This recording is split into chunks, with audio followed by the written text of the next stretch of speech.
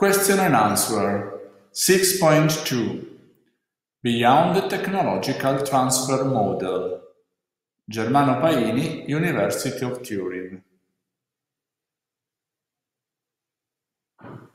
Check your learning. Click on pause, take your time to read the question and respond.